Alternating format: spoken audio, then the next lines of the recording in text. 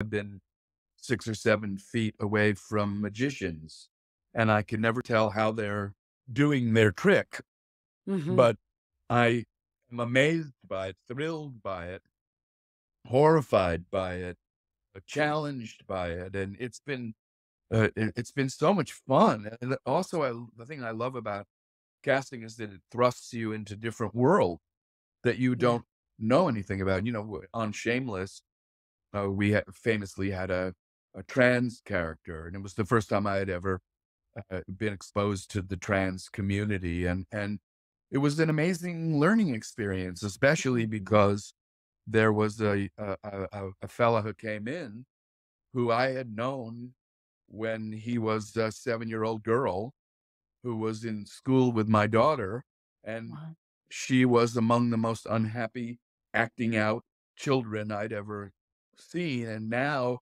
he was among the well adjusted, happy, uh, comfortable in his own skin man. And it was, uh, it, it was proof positive that, that this is something real that Yeah. for those of us who don't know about it or experience it or Right. it- it's hard to uh, it's hard to understand